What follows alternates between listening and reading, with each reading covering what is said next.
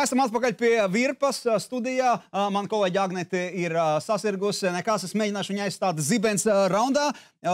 Kāpēc esmu bez maskas? Kāpēc mans viesis šodien bez maskas? Tāpēc, ka mēs vēdinām telpas, un tas ir jādara šajā laikā. Sveiks! Sveiks, Kaspar! Čau! Prieks tev satikt. Ātri uz jautājumu ar atbildi īsi var arī kaut ko paplašināt, ja grib. Ā, Labā, labākā krāsa sacensību kreklam. Balta. Tāpēc, ka vienreizēji. Jo pēc tam ir dubļaini. Jā, Jā. Slēpošana vai riteņbraukšana? oh, šitais grūts. Ziemā slēpošana, vasarā Divas riteņbraukšana. mīlestības. Jā. Pie kuras, jā, pareizi, vasara, ziema. Jā. Kas vislabāk palīdz atslēgties no domām par trasi? Uh, es domāju, motocross trasi. Ah, draugu kompānija, pārgājiens mežā. Aha, ļoti, skaisti. Pēdējā dziesma, ko klausies? Radio droši vien kaut kas, bet uh, Meldiņš kaut kāds tāds. atmiņā nepalika. Dungo, nē. dungo kaut ko, nē? Es klausos radio. Mm. -hmm. Kur no ēdieniem sportista karjeras dēļ eh, savā uzturā ierobežot ir vissāpīgāk? Droši vien saldumi, saldumi. Jā, ir kaut kāds eklēriņš. No aizieta, protams, Ah, jā. protams. Gardi. Futbols vai basketbols? Basketbols. Mm -hmm. Dīvainākā bauma, ko par sevi esi dzirdējis. Iedomīgs. Iedomīgs. Hmm. Nespēju noticēt. Nu, jā, man ir vienmēr tā, ka uh, sacensībās es tik ļoti koncentrējos tam, uh, tam savam darbam, ka es baigi enerģiju apkārt netērēju. Un, Nenāc klāt, apmēram. Jā, un tad visi domā, ka es esmu iedomīgs. Bet, Mhm. ja man kāds kaut ko jautā, nekad neesmu atteicis un cenšos būt uh, draudzīgs. Labi, var apliecināt. Ikdienas treniņa nepatīkamākā sastāvdaļa. Sāpes slieksnis. Nē, agras rītrosmes. Mm, jā, jāmostās. Igauni ir daudz punktu. Forši, kārtīgi, um, ambiciozi. Mm -hmm. Un vai kaut reizi šajās atbildēs, ko man sniedzi, samelojies? Nope. Nop, nop, nop. Sākam sarunu. Sākam sarunu. Šeit ir uh, apkārt uh, ekipējums. Uh, tas, ko tu izmanto ikdienā, lai uz tevi uzturētu formā. Tu gribēji teikt, inventārs. Jā, ekipējums nebūs pareizs. Tas ir inventārs. Uh, mēs šeit redzam, uh, raidījuma laikā noskaidrosim, ko mēs redzam, bet šeit ir zābaki īpašie, ja, kompresijas zābaki, kas ir vajadzīgs, vajadzīgi katrai, mai- katrā maisaimniecībā, var teikt. Nu, varbūt tās tagad nav tā staigāšana tik daudz apkārt, tad varbūt tās katrā mājsaimniecībā nē, bet, nu, Mm -hmm. jā, ja tāda aktīva ģimene, varbūt tās uz ģimeni vieni Vienu noderē. vajadzētu. vienu vajadzētu. Labi, pie tā pārējā mēs vēl tiksim ā, laika gaitā ā, skaidrībā, bet sākšu ar, ar ziemu. Ziemu foršu. Sniegs. Ja. Ļoti forši. Cik tev ir saskrējuši kilometrus slēpēm tagad? Nu, šodien saskaitīju nepilni tūkstots. Pietrūkst uh, 800 metri, lai būtu Kas 1000 nepilnīgi kilometri. tūkstoši? Kilometri? Jā, kilometri. 38 gadu vecumā. Nu, jā, jā, kustās. Kur tu kusties? Ah, visur. Tagad trastes ir ļoti daudz. Jā. Rīgā, uzvaras parkā, ah, biķerniekos, ah, ogrē, zilajos kalnos. Šis ir no alūksnes, kontrola treniņu braucu jā, 10 km uz, uz tādu. Kontrola treniņš, tas ir kaut kāds laika atskaita arī. Ja? Nu, jā, nu, rekur no, noseivoja laiku. Un, ah, Cik tu, cik tu velc? Desmitniekā. Ā, 32 minūtēs. Bija pasniedzis uh, svaigais sniegs, un tik labi neslīdēja. Tajā rītā var redzēt arī, ka pārsliņas. Uh, Ap, pi- ap 50 šeit mēs redzam 50. kas Pagājušā svētdiena, uh, pagājušā svētdiena Madonā. Es, jā. es domāju, ka teiks pagājušā gada. Nē, pagājušā svētdienā Madonā. Mums tur mazs izaicinājums ir, ir uztaisīts Vecpiebalgas novadam aktīvākais piebaldzēns, un kurš savāks, savāks visvairāk kilometrus mēnešu laikā no 11. Uh, janvāra līdz 11. februārim. Pirmās divas nedēļas. Nu, es- beidz, nu tu ar atrāvienu. Pirmās divas nedēļas es zaudēju. Pirmajā nedēļā, Nestāst. Pirmajā Piebaldzēni. nedēļā, jā, pirmā, pirmajā nedēļā pa 200 metriem, otrajā Pagaid, nedēļā pa kurš, tur, kurš, 6. tur, nu, kurš tur tūmā? Nu. Pēteris Lāvstils. Tiešām. Jā. Un Un- tagad? Nu, pagājušo nedēļu man uh, sanāca, nu, kad šī tādas apjomas vārds sanāca. Dievs, ak, Dievs. Dubultot to visu ciparu, un tad uh, mēs esam tagad nedēļas at, atstatumā no, līdz, finiša. Bet klaus,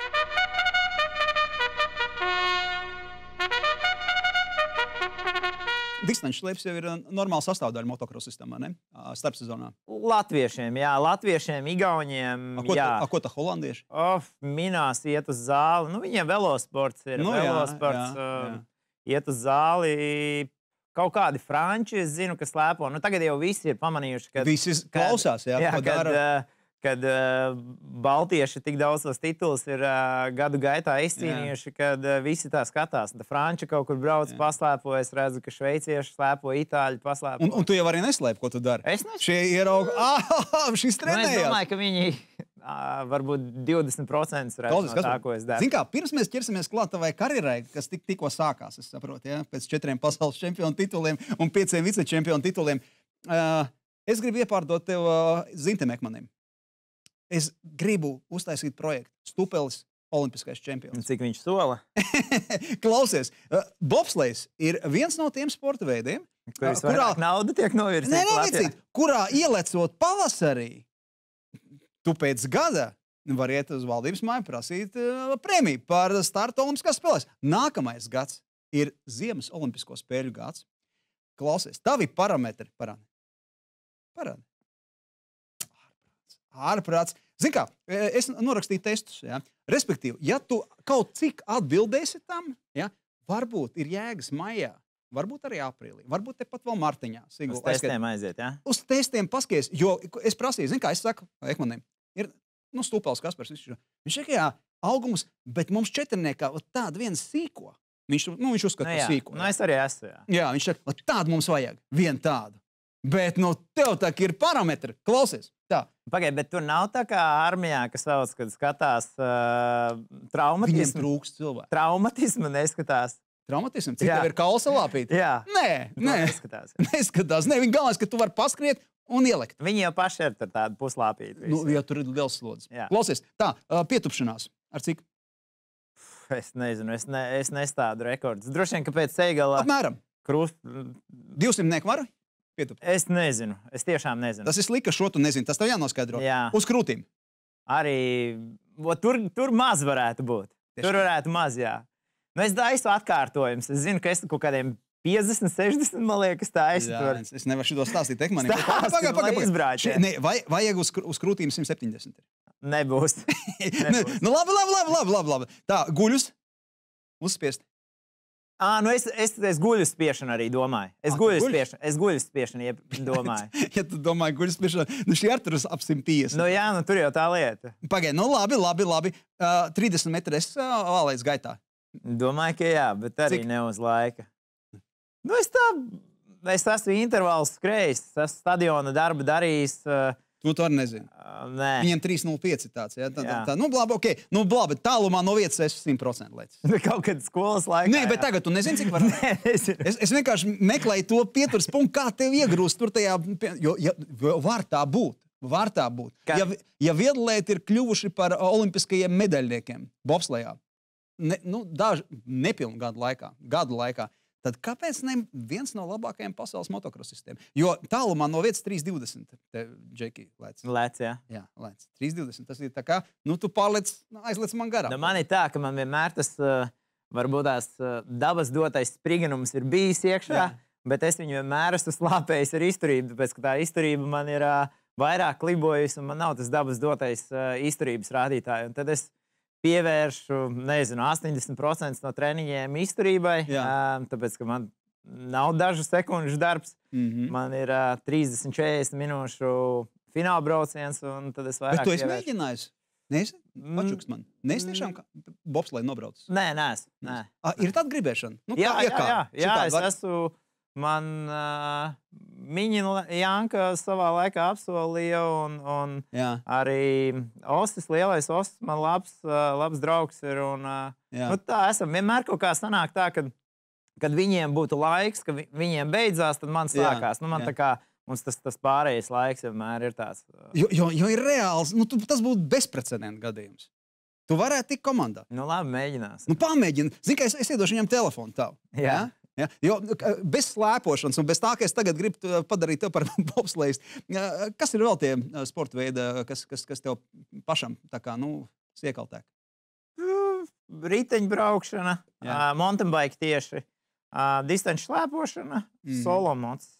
Solomots. Jā. Bet Solomots tas ir pēdējā laikā. Jā? Vairāk jau tur Nu, šī vasara, klubā, jā. ku- klubu kantēji. Šī, šī vasara, jā. Jā. Paralēli braucu vietējos čempionātus, um, Igauniju, Latviju ar, mm Mhm. -hmm. ar blakus vāģi un ar solo moci. Uh, Bet, amatieru bet kā tu čempionātu. pastāvi, Vērnē, nav tā, ka ar Solomots vajadzēja ātrāk sākt braukt, lai saprastu, ko tas pilots dara tev blakus? Es domāju, ka tas man ir bijis liels pluss manā karjerā, ka es esmu arī sācis ar solo moci. Jā, Un, un man tā moča izjūta ir, es viņu dzirdu, es viņu saprotu. Un, es domāju, ka tas man ir, kā kantētājam, man liels pluss bijis. Jo, mm. -hmm. Es domāju, lielai daļai kantētāji nav tā, tā, tā, tā, tā braukšanas izjūta. Nu. jā. Jā jau tev, tā, tev jājūt ne tikai savas puses. Jā, un tev jājūt saķere. Aizmugurēji, nu, teiksim, tā, lai tas motora jauda aiziet uz zemi un, un tas mocis maksimāli iet Bet, uz bet, bet, priekšu. klau, bet gan jau tu jāizvērt acis. Tagad jau visam liek mutes aizvērt. Bet, nu, ja aizver acis, tu taču varētu pateikt, kas tev blakus teiksim, pēc, pēc manieres brauc. Respektīvi, kas ir pilots tavai, tavai klubai. Es domāju, nu, no, no lielajiem čempionātiem, no lielajiem braucējiem, es domāju, ka jā. Jā? Sērģim kāds stils? Tāds maigāks, filigrānāks, Nu, Viljamsons trakais. Jā, agresīvs. Jā, Jā, Baks arī agresīvs. jā. Baks brauc savādāk kā, Jā. kā Viljamsons. A, a Gerts? Es, es saku, Gerts, nu, tā kā savējo uzrunāju, jo Gerts Gordējevs. Nu, Gertam vēl jāaug. Ta- Tas būs tagad tā kā tavs, nu, tavs Viņam jāaug pārnieks. vēl, jā. Jā. Viņam jāaug vēl. Nu, Labi, cik viņš tālu augs par to, mēs pēc reklāmas un, protams, pēc telpu izveidināšanas. Arī jūs šajā laikā izveidiniet telpas.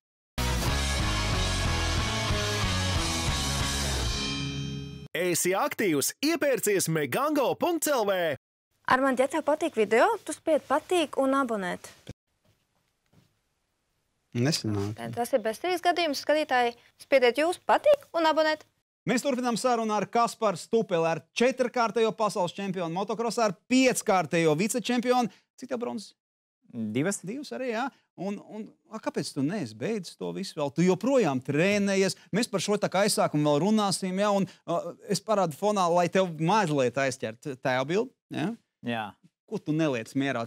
Vecais pārdzīvo. Viņš šajās viņam īkšķīts, viņš, viņš pārdzīvo. Tas pirms pieciem gadiem. viss, Tie tu esi nav tik Tu esi traki. visu iedevis ģimenei savai, un, un gandarījums, un viss forši. Ja? Vecos zēni, neties prom no tā? Kas tas ir? Ā, Gāja jau tā kā uz beigām, viss likās, ka varētu beigt, bet tas Covid visu tā kā sašūpoja un beig grūti bija pagājušā vasarā kaut ko jaunu tā kā uzsākt. Nu, un iet, un tā, tas, tas ceļš varbūt tās nebija tik ļoti uzbruģēts, jo es biju gatavs ā, vēl gadu vai divus startēt. Tu biji Ā. sarunājis Vilemsenu. Jā, es biju Veco gatavs. Vil- veco jā? Vai viņš mani bija pierunājis, Jā. un uh, bijām gatavi startēt. Kā, um, es jūtu, ka es uh, varu. Bija forši arī tas, ka tā vasara bija savādāka. Priekš Jā. manis tas bijis, uh, bija kaut kas, uh, kaut kas cits. Es padarīju kaut ko citu. Uh, tāds mazs restarts, teiksim, Nu, ma, kaut ko citu, tas, tas pats mocis. Nu, pie moča bet tas ir- solo mocis. Nu. Diviem riteņiem bija Jā. nestabilāk. Un tā sajūta nebija noķēris par šiem gadiem. Tās ja? nebija noķertas. Tiešām nē. Nē, Likās, tik- ka tas pats jau vien ir. Nē, nav, nav, nav tas pats. Jā? Nē, tas A, pavisam kas tad tā? Nu, tas līdzsvars bija savādāks. Ir, redz, viņš līdzsvars. šūpojās, Līdzsvars, līdzsvars. Nu, skaidrs. Labi, bet tagad uh, es tā pieteicu uh, iepriekšējā, iepriekšējā sarunā, tā kā Gerts Garģējos, Igauns. Klausies, nu, viņam arī es ar tādu brīnos, 3, 6 gadi, ja? tev 3, 8. Ja? Kā jūs vispār atradāt viens otru? Mums ir normāls kontakts bijis jau gadiem, teiksim, ar, ar viņu. Un, uh, viņam arī līdzbraucējiem bija uh, kaut kādas veselības problēmas Jā. Jā. šogad. Un sākās Igaunijas čempionāts. Viņš uh, pajautāja, vai es nevaru ar viņu nobraukt. Tas bija pagājušajā gadā, pagājušā vasarā. Jā, un, uh, un es aizbraucu. Kurš numuriņš tur jums? Trīs, Ā, reku- piektais, Jā, jā. rekur, rekur, rekur, rekur. Un es, principā, viņš atbrauca nedēļu iepriekš uz Latviju, nostartēja vienu mazu gonku stelpē. Tādu. Labi, viņš atbrauc. Jā. Viņš atbrauc pie četrkārtajā pasaules čempiona. Gerdam Gardievam, es, es, viņš pat nav četrkārtais Igaunijas čempions. Jā. Ja? Nu, ko, nu, ko tev līst tur pie viņa? Nu, nu, kas tev tas pa izaicinājumu? Nu, Es, jau? es, es, ja godīgi, es biju redzējis, kā viņš brauc. Man Jā. Jā. patika viņa braukšanas stils, man patika, kā viņam um, teiksim, tas tehniskais nodrošinājums, kā viņš izskatās, kā viņš pieiet tam visam. Tas man bija svarīgi. Nu, Kāds ir viņa stils? Nu, viņš ir kārtīgs. Viņš ah, ir kārtīgs, organizēts, eh, pārdomā visu. Un, uh, man liekas, ka viņš ar mani var pabraukt labāk. Nu, Tad, tagad tu padomāji arī par savu vecumu tajā brīdī. jā. Jā, tā apmēram. Jā. Ka vajag mierīgu džeku blakus. Jā, nu, varbūt tās nemierīgi džeku, bet nu, tāda bija tā situācija. Nu, to Es- vienkārši iegāzt kaut kur grāvī ar visu to taču. Gan jau, ka nē, nu, es Nē? domāju, mēs bijām labi sagatavojušies. Vienkārši tā moča nebraukšana bija tik liela pauze, kad, uh, ka te tādā vietējā līmenī, tur, nezinu, man nakts vidū droši vien var pamodināt, un es būšu gatavs tam. Jā. Bet, pagai, nu, bet Vilniusam arī tā kā apsolījies, un, un te jau pazvanīja viņam, pateica, piedod, vecīt, tā iepriekšējā sezona, ka cerēšanās, nu tā jāizmirst, jo tur ir Covid, jā, un tagad nākamais viņš jau brauks līdz 100 gadu vecumam. Nu, ar viņu bija tā, ka mēs bijām vienojušies, kas man bija svarīgi nobraukt Latvijas čempionātu Jā. ar viņu. Viņš bija apsolījis, ka viņš brauks uz Latvijas čempionātu. Un uh, sākās visas robežu problēmas. Nu, nevarēja, tad nevarēja, uh, Holandē es nevarēju braukt uz, es varēju lidot uz turieni. Man bija divu nedēļu atsēdēšana. Tad bija tā, ka bija jābūt no vienas ģimenes, Jā. diviem cilvēkiem uz moča, jābūt no vienas ģimenes. Tev bija jāprecē. Un tādā garā, jā, nu, teiksim, Baksta brāļi varēja tur trenēties. Mēs nevarējām, un tur trastes nebija. Nu, teiksim, viss bija ļoti, ļoti samocīti. Un beigās bija tā, ka viņš uh, varēja atbraukt, viņš negribēja braukt, jo viņam arī tā atsēdēšana te būtu. Un tik ļoti Vai, arī tas tad, tad. Gardījevs ar braukšanas stilu, bet nu, tu jau ķēpu nesūkās. Kaut kas ir jāēd, draugiņ, ar to, ka tu izbaudi viņu braukšanas stilu.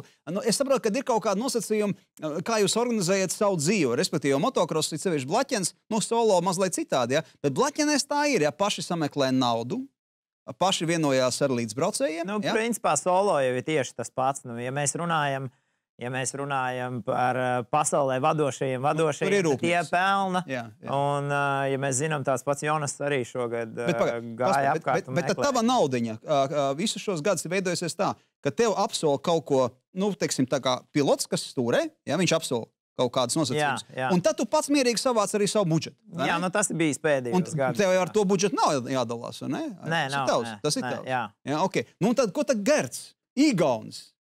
Nu, es saukšu viņu tagad par veiklo, jo viņš ir ticis tev klāt. Jā. Jā, kā viņš te tev paņēma ar ko? Nu, Pateicis stils, tam līdzīgi, nu, viņam nu, nauda vairāk. jā, nu, viņam ir divi ģenerāli sponsori, kuri um, bija apsolījuši viņam Jā. finansējumu. Viņš saprot, ja viņš uh, šogad uh, to nepaņems, tad nākamgad tas arī var nebūt vairāk. Jā, jau ir 37. Jā, un, uh, un tāpēc arī viņš mēģināja. Uh, viņš saprot arī, ka viņam nav laiks braukt uz pasaules čempionātu un vienkārši tāpatās vizināties Mm. ar un mācīt vēl līdzbraucēju. Uh, teiksim, tad mans tas pienesums komandai, es domāju, būs diezgan liels, ka viņš, viņš arī šogad, teiksim, ka viņš brauc uz tiem mačiem.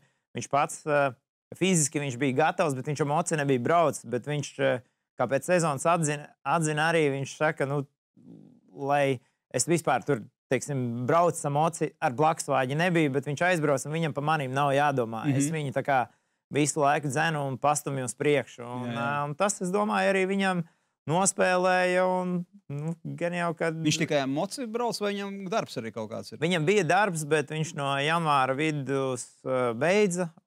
Tagad ir. Bet tagad, tagad viņš tā kā savu mērķi, tā kā, nu, nevar zināt, vai tās karjeras izskaņa ir, bet viņš tagad grib to pasaules čempionu. Tā, Jā, tā kā, jo tur viņš, tur viņš tur tā kā pilna aprit vispār nav nereiz nobraucis. Pilna aprita pasaules čempionātā nav. Viņš Jā. Jā. bijis Latvijas, Igaunijas čempions un, uh, un pasaules nav. Un viņš grib paskatīties, um, kad tad, ja ne tagad, ja viņam Jā. jā. ir iespēja. Un, un es saprotu, ka viņš ir budžets savāds. Viss, Jā, viss forši, jā, jā, jā. Un, ja nesanāk, tad uh, tu, tu vēl cērā soliņu. Ja?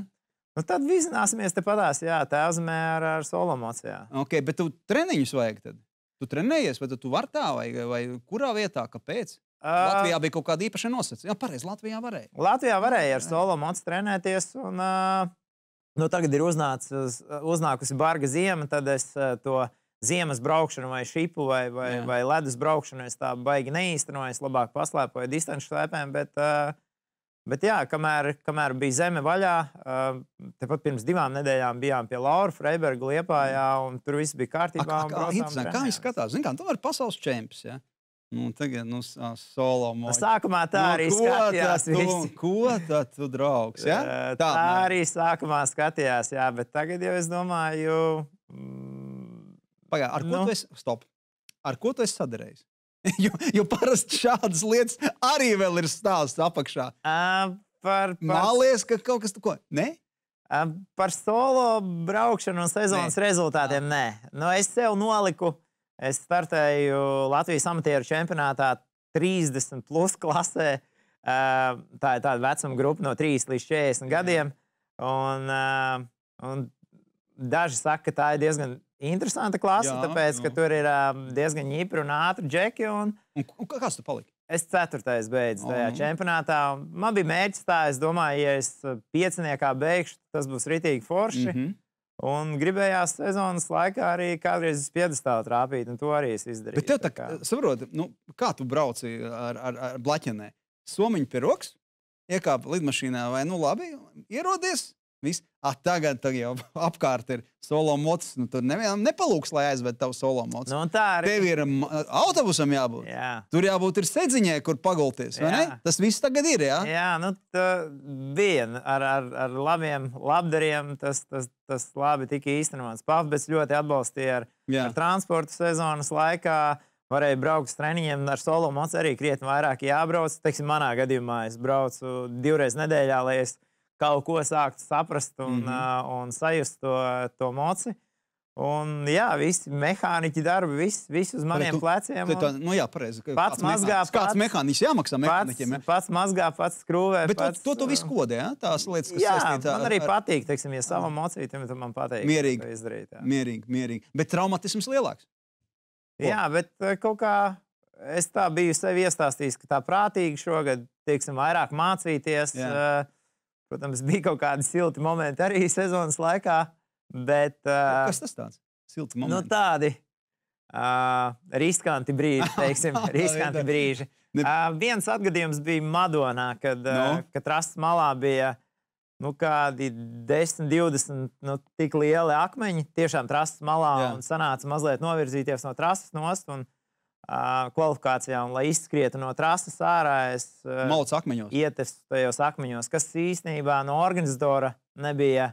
Uh, labi, es pēc tam arī teicu, ka, ka tā nedrīkst. Nu, labi, ka tur kāds risks, nav risks, jā. nosities. Un, un, jā, un stāsts salauzu te atkal roku bišķi, un, bet turpināja tādu jau, braukt. savu, un- tu jau kaut ko saki, kas tev tagad ir lausts? Es nu, Tā iz- pēc izskata nevar tev pateikt. neko. Nē, tagad viss ir kārtībā. Tagad, tagad Jā, nav. tagad Okay. ir A, klausies, at, a, es tev varu pateikt, kāpēc Yamaha mocis, piemēram, nebeidz nevis Honda kaut kas tāds. Ja? Nu, Nu, man, es smējos, ka čempionātā man, es biju ceturtais. Jā. Un pirmajā, otrajā, trešajā vietā viss bija ar Yamaha močiem. Nu, Jautājumu nav īsti. Jautājumu nav. Nav. Jautājumu nav. Nu, labi, ko, e, e, ir e, kolēģi man pastrādājuši un Instagram mazliet tā kā paskatījuši ja, tev, un attiecīgi kopīgi mēģināsim saprast, e, ko tu tur atrādi. O, Kristēra laiks. Paskaties, jā. kas blakus. Viljamsens labā pusē, Sērģis kreisā. Viljamsens kreisajā, Sēļas Lavijā. Jaunajam stupalim padoms, ko tu tur domā? Ah, Nevar saprast, kurā vietā mēs tur esam. Droši vien, kad uh, zaudējuši esam Viljamsonam. Nu, Jā, Viljamsons īpaši priecīgi neesam. Auskars, Auskars. Ejam tālāk, jā. jā šis. Tas Kur ir. palika tavs čoms? Tas ir es, es esmu pazudis tur. Tas ir Baks. Pagaid, man liekas, ka tu tur piesardzi Nē, tas ir Baks pie stūres. Viņš ļoti ātri var braukt bez līdzbraucēja, ja godīgi. Jā? Šitā ir tāda A, kur tu ep- izskatīji epika. pa ceļiem? Tā bija um, sezonas vizināšanās, uh, pēcsezonas uh, sponsoru diena. Un tad viņš tur demonstrēja, ko domāju, viņš ka es jau Nē, nē, nē, nē tas, nav, izmantojis. tas nav sacensībās. Mm. Mhm, nu labi, skaidrs. Ja. Un kas tad šī te ir? Uh, šis ir uh, pa visiem saviem gadiem. Es gribēju nosvinēt uh, vienu no saviem tituliem kārtīgi. Um, un, Kurš tu tur esi? Es Blaķina? blakus vāģi. Blaķina, loģiski, Un, es vecpiebalgā noīrēju kultūras namu, saicināju ļoti, ļoti tuvos. Mhm. Un uztaisījām kārtīgu balli. Šis bija pārsteigums. Es biju mājās, un man piebrauca ar blaķeni pakaļ. Tā kā jābūt. Jā, un, un vedu. Un Tā kā Līga vaina. bija uztaisījuši salūtu un dūmenes. Un Pagaidā, kultūras nams tas nozīmē, cik bija kāds viesi. Pār, pārnestā nozīmē. bija daudz, un bija arī pēc tam atraugas kultūras nama. teiksim. Pagaidā, jums bija jāremontē vai grīda? Nu, es gribēju tā, lai izsauc pažarniekus, ātros un, eh, un policiju, bet. eh, Visu piedzīvoju. Nē, ne tikām galā paši. Bet tā, kā, kāda atbrauc no šiem? Ne? Neatbraucu, nē, bet nu, nākamajā dienā bija jāiet un uh, Jātaisnojas. Jā, Jā, taisnās. Labi, paskatāmies nākamo. Opā! Jā, Tad, tad uh, Biatlons. Biatlons tērps gan, nu, tur drīzāk Kalvins Klins priecājās tikai par šo bildi. Labi. Uh, tas ir Zviedrijā. Pag, aizpagājušajā gadā nometnē ar biatlonistiem, Latvijas jaunajiem biatlonistiem Ah. kopā un, un uh, jā, kaut ko pārākstīt. Pamēģināji. Um, nē, bet es esmu pamēģinājis Madonā. Baigi forši, baigi forši. Jā, tur ir kaut kāda rekvīra no Madonas. Jā. Uh, Trāpīt varēja. Mums bija tā, ka mums bija redzams no bluķīša jāšauj guļus. Nu, no bluķīša un pa lieliem mērķiem. Aha. Un, eh, un eh, es minēju tos mačus tajā savā grupā. Un no 20 mērķiem visus arī aizvēru. Bet, nu, protams, mums bija no bluķīša. Nu, pa, nu, beidz, nu, beidz, nu, arī no bluķīša. Nu, beidz, nu, bet- 20 mērķi aizver. Bet adrenalīns No ir bluķīša, baigais. jā? Ja? Brauc šautavē iekšā, tad domā, būs, nebūs. Un tikai sašauj viss. Tad, tā, jā, patīkami bija forši. Forši. Nu, un, un, un kas tad, kas tad eh, šis šī, šī pa glezna ir? Jā, kas te ir? Šī, Glezna tā ir. jā, no Bauskas uh, čalis. Invalīds. Ā, jā, glezno ar muti. Jā, Un uh, mans draugs Mēs redzam. Arnis, jā, Šeit mēs re- redzam. Jā, viņš glezno. Un mans draugs Arnis man uh, dzimšanas dienā uzdāvināja uh, šo gleznu, ko viņš bija. Es no sākuma nu, tā saņēmu, es domāju, nu, glezna, glezna, nu, Jā. forši. ir. Uh, un, Tas un kāds stāsts. apakšā. Viņa Ārprāts. ir ļoti, ļoti īpaša. jā. Izcili vienkārši. Nu, labi. Un kas te šeit ir? Ko piebaldzēni te dara? Vai tas jau. Nē, te nav Oh, piebalsts. te tā kā ir futbolists. Jā, te ir, ir ā, Latvijas dažādi bijušie un esošie sportisti. Jā, jā. Un, Nu, ko mēs tur redzam? Mēs Blūmjānku redzam, Nitišu redzam. Jā, jā, Kas jā viņu ir Čēnoku, Gorkšu un Tuntērni. jā. Un, jā, tādas mazas satikšanās taisījām un kaut ko mēģinājām sporta labā darīt vai aprunāt, vai vairākas satikšanās tādas uztaisījām, bet jā, dēļ tā Covid daudz ko nesanāca īstenībā. Kas te pa papīriem tur uz galda? Neskatās pēc ēdienkartes.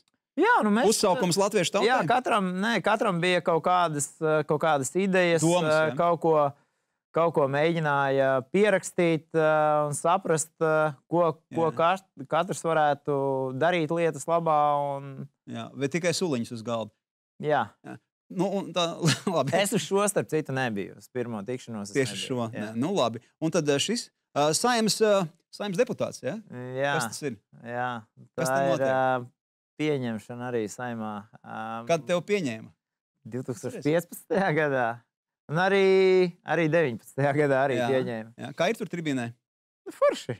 Jā, Negribu Jā. mēģināt. Mums ir viens uh, līdzbraucējs uh, motocross vēsturē no Latvijas, kas ir deputāts bijis. Jā, nu visi Jā, baigi aktīvi. Ja tagad pat um, pašvaldību vēlēšanām ir, bet es kaut kā.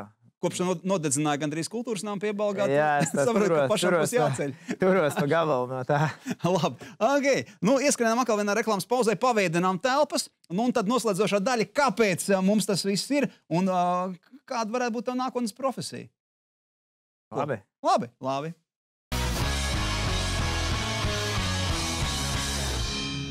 Esi aktīvs, iepērcies megango.lv! Armand, ja tev patīk video, tu spied patīk un abonēt. Nesenāk. Tas ir bezcerīgs gadījums. Skatītāji, spiediet jūs patīk un abonēt. Mēs turpinām sarunu ar pasaules čempionu motokrosā Kasparu Stupeli.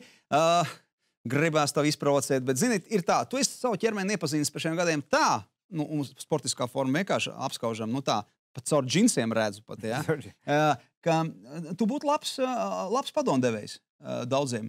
Un es tā iedomājos, nu, kāpēc ne jauniem motokrosistiem? Nē, ja? Ko tu ar to Igaunu ņemies, būtu paņēmis jaunos puikas un izstāstījis? Ir tāda lieta, ja? tā brauc līdzbraucējs, tā viņam tehnika. Nu, kā tev ir ar to, uh, mm, teiksim tā, uh, skolotāja smeķi? Es jau to esmu darījis paralēli un um, nekad padomu neesmu atteicis. Jā. Vienkārši tagad es saprotu, uh, pēdējos gados, ja es gribu augstā līmenī braukt, joprojām pats, tad, tad tam tā kā nevar pieķerties ar pilnu, pilnu vērienu. Un gan jau, ka pienāks diena, kad es to darīšu. Ja? Ko, tu, ko tu prastu, kā tev šķiet? Zini, kā, jo viens līdz, nu, ko tu esi darījis, nu, es braucu ar mociju, ja? nu, teiksim, motokrosā. Ja? Tad, ko tu esi uzkrājis? Jo spriežot pēc tiem aparātiem, kas mums te ir, un, tiem, un tām trosēm, brezentiem. Ja? Nu, pirmkārt, jau šis, ja? tad, tā, tas ir vakum, vakum biksīts. Jā, Vakuum biksītes. zābaki. tā, Jā, vakums zābaki. Ja? Liekas, ko viņi dod cilvēkam? Ko tu esi sapratis? Nu, ne visi, ne visi var uh, tikt pie masiera katru dienu vai, vai katru otro dienu. Tas tāds uh, um, treniņu nometnēs un mājas apstākļos uh, ideāla lieta, lai atjaunotos tu, nākamajai tu, tu lieto regulāri. Ja? Principā, jā, jā katru, cenšos katru vakaru. Protams, ja ir kaut kāda brīvāka diena bijusi, tad es nelieku viņas. Jā. Jā, labi. Kas tas ir? Ar, ar, kas tā trose? Tas ir tērīgs. Jā, jā, tas ir tērīgs, bet tu jau pastāstīji, ko tu viņi dari. Jo tērīgs tu jau mājās pie virtuvē pie krāna nepieliks. Tev Nu, gluži kāds- nē, bet viņu principā var pielikt un Jā. tu viņu iekļūt. Iedomā, vienu galu un tu parādā tā. Jā. Jā. Respe- Respektīvi, ka tu iekarini šo vienu galu, Jā, un, tad, un tad tu sāc ar rociņām jā, strādāt. Jā, jā. te viņš Jā. jā. arī bišķi tev līdzsvaru. Jā, atrod līdzsvariņu, jā. Ar viņu var pietu pienu staisīt, Kačāties rokas. un visu kaut ko. Jā. darīt. Tā tad, respektīvi, būda top šādi, vai ne? Um, Plus, mīnus. jā, jā, iekšējos treniņus, uh, iekšējos muskuļus ar, ar šo ļoti labi var trenēt. Mm. -hmm. Nu, kas tad tas Tā ir tāda līdzsvara līdzsvara? bumbiņa, jā. Jā. jā. Mazliet pa maz gaisa ir tagad, bet uh, jā, uz viņas arī var veikt pietupienus, pieslēgt klātē, rīkstam, uh, piepumpēties uz viņas, mm. -hmm. stāvēt uz vienas kājas, griezt otrādi viņu. Jā. Visu kaut ko var Bet, darīt. bet kas par eh, ņemot vērā visu tavu pieredzi, ar, ar, ar nu, tu jau gan izsaki, kā teiksim, tā, nu, tu varētu arī Stradaņu universitātē būt arī ļoti labs teiksim, tā, piemērs. Ja? Šis cilvēks ir lauzis tik lietas, pārāvis to, to, un viņš arī var pastāstīt. Zini, kā parasti saka, es zinu, kā jūties? Nē, bet tu patiešām zini, kā jūties. Līdz ar to man liekas, ka to vajadzētu izmantot tagad, kad tu esi uzkrājis to informāciju un profesionālam sportistam tu vari ārkārtīgi daudz nodot. Nu, pieņemsim, kā fizioterapeits nākotnes, jo tagad jau mācās ātri daudz par tiem. Jā. Ko? Um, nu, kaut kāda pieredze ir pa tiem gadiem sakrājusies, un uh, zinu, kā ātri, um, ātrāk var tikt ar, ar lietām galā. Ir, uh, un arī daudzi, daudzi motokrosisti, vēl kaut kādi citi sportisti ikdienā šeit piezvanīja, jo viņi jau zina, ka o, tur ir bijis salauzts tas un tas, vai izmežģīts tas un tas. Kā tu tur toreiz darīji? Es dodu to, to savu pieredzi, kā es esmu. Ar, ar, ar vienu piemēru tu vari paraksturot par nu, kaut kādu tādu vienu spilgtu piemēru, ko tu ko toreiz salauzi, un, un, un tu vari iedot teiksim, padomu cilvēkam vienkāršajam, kas eh, nu, vistipiskāk, nu, rības, piemēram. Nu. Nu, nu, tā šajā laikā, es gara laika rības var pārlauzt arī pandēmijā, tur nomaucoties virtuvē uz grīdas. Ja? Vai mēģinot kaut ko darīt. Ja? Nu, ribām, ribas sāp diezgan, uh, sāp diezgan, bet uh, ar pretsāpju zālēm Jā. un, uh, un teiksim, nostiprinot to, to korseti, var izdarīt to, kas uh, jāizdara. Nu, un, un ribām neliek nekādu ģipsi, neko tur tādu baigo nedara, ir jānogaida. Un, Jā, bet, bet tavā gadījumā tu, tu jau nevari teikt, da, es, es tikai pēc četrām dienām atgriezos trasē. Ja? E, Nu, ir jānogaida, bet ko nozīmē nogaidīt cilvēkam? Nu, Normāli? cik kauls aug? Nu, Jā. divus mēnešus, sešas nedēļas, Jā. tik arī kauls uh, aug kopā. Bet Mhm. mm -hmm. uh, ribas ir, ir tas pats ar atslēgas kaulu arī. Nu, salauzt, ja nav Jā. baigi, baigi viņš tur sašķīdis, tad, ja viņu saskroja un uzliek plāksni, tad. Uh, tad var Kas par to ir redzēts? Arī mācām cilvēku slēpot, ja? jauns puikas. Ja? Tur to, to arī esat atklājis. Nu, ja ne jaunas puikas, uh, Nu, es arī jaunas mācījos, bet uh, Prātā jā, jaunas. daudziem motokristiem vai, vai aktīva dzīvesveida mīļotājiem esmu iemācījis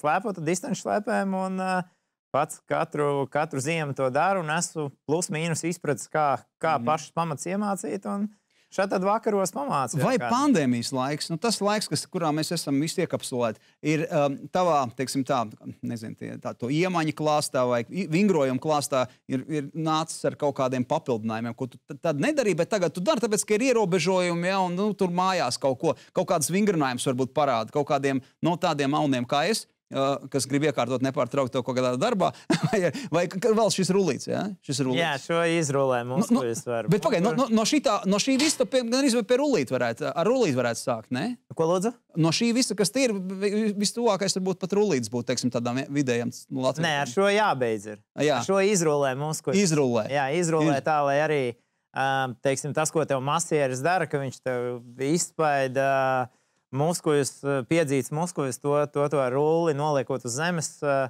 Jā. ar savu augumu arī izrullēt. un Okay. Bet, mašā- bet, bet masāžai. kā var uzturēt četrās sienās sev formā? Ah, Četrās sienās droši vien, kad uh, formā uzturēt var, bet ar galvu droši vien centros netiksi. eh, Tāpēc, ka droši vien nojūgsies. Daudz ko ārā var darīt. Mm. Skrien, nu, jo slēpo, staigā, kā pa trepēm, karājies kokā, ej, deja ko dari. Tā, tā jau elpojot, es domāju, svaigu gaisu, tas noteikti tikai nāk labi. Bet tev pašam, kā sajūta līmenī 38 gados, tas resurs vai tā degviela, nu, kāda ir tā pašsajūta?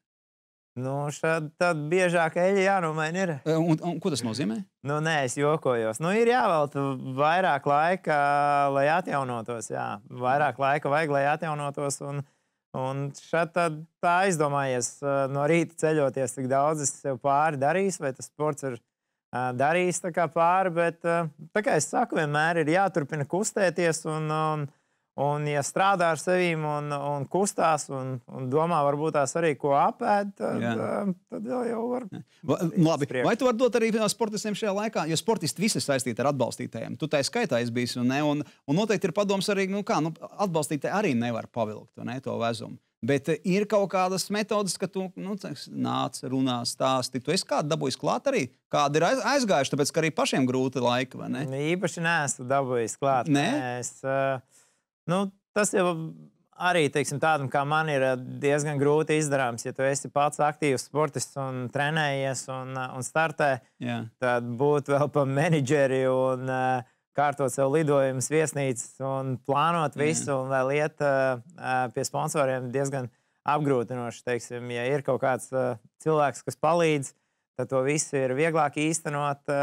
Bet, Nezinu, es droši vien šajā jomā neesmu baigais pam- padomdevējs. Klausies, bet šī tādā garā turpinot, tu, jau tā arī neaprecēsies. Zini, kā tu, es tev vienreiz prasīju, tu saki, man draudzene ir, jā, tagad prasīju, draudzene ir, jā, jau viss kārtībā, bet tad, nu, jāprecās, draugs. Nu, tagad tu esi sakārtojis gandrīz sportā visu, ko gribi. Jā. Nu, jā, bet vajag jau tādas, tā, lai, lai tas covid bišķi piesēžās, lai Jā. var tādas grandiozas kāzas uztaisīt. Jo nu, nevar jau tā, nu ko tu tur. Grandios kā. Nu, ja, ja tad precās. Jā, man precības arī saistās, nu, kā, teiksim, teiksim, pie balks pusē noteikti ir kāda alus krūze, vai ne? Jā. Tur, bez jautājuma. A, kā ir ar tiem ā, tikumiem, netikumiem ā, tavā dzīvē, vai tavā karjerā? Uh, alkohols un, un, un, un, un uh, šī te uh, stāva aprūpēšana. Kā, Aprūpēšana, jā, sevis aprūpēšana. Nu, tu kā vari savienot to? alkoholu esmu lietojis, vairāk neko neesmu lietojis. Jā, bet nu, tas ir mērenības ziņā, cik daudz. Kā vajag? Tad nav tā, ka tu saki, zini, es tagad sezonas laikā neko. Ir bijis arī tā, ka sezonas laikā neko, bet mm. uh, saprāta, saprāta robežās. Teiksim. Es domāju, ka man nevienam vairs nav nekas jāpierāda, un es Nē, gan nē, esmu nē, pierādījis. Un, uh, un, uh, man, man gana laba attieksme ir. Es domāju, pie, pie, nav bijis tā, ka uh, dēļ kaut kādas balītas neesmu varējis Es ieradies uz mačus. jā, jā. Vai, vai neieradies uz, uz treniņu vai vēl kaut ko tādu. Mm, es, es saprotu tās līnijas, kurās ir jāturās. iekšā. Beidz, tu saki, nav, nav ko pierādīt vairs, bet es, es tev sarunas sākumā teicu, ne, ir ko pierādīt. Olimpiskās spēles tas ir reāli. Bobslējā to var sasniegt. Ar tavu fizisko vispār, man liekas, ka tur Es var par iestumt. motokrosu, es par motokrosu. Jā, jā. Plākas vāģi Bet, motokrosu. bet zini, kā, nu, tad tomēr kaut kā varētu mēģināt tevi iestumt uh, Olimpiskajā vienībā caur, caur bobslēju, jo kā motokrosists tu tur neesi neko darīt. Ja? Bet uh, nu, tāda unikāla iespēja varbūt, varbūt pamēģina. Kas par teikšu arī tev paldies uh, par to, ka uh, veltīja laiku sarunai un uh, novēl tev veiksmīgu olimpisko sezonu. Ko? Nē, būs pasaules čempionāts. Vispirms būs pasaules čempionāts. Ka nedabūji bobslēju kamanās iekšā. Paldies tev! Pēc tituliem, pēc priekiem un pēc viss tā, kas eh, nu, teiksim, tavu dzīvi padara krāsainu. Un tas laikam ir veselīgs dzīvesveids vai aktīvs dzīvesveids. Aktīvs dzīvesveids. Aktīvs dzīvesveids. Un to arī jums novēlam. Un neaizmirstiet izvedināt telpas.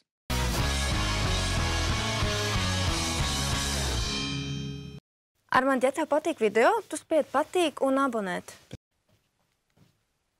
Nesanāk. Tas ir bezcerīgs gadījums. Skatītāji, spiediet jūs patīk un abonēt.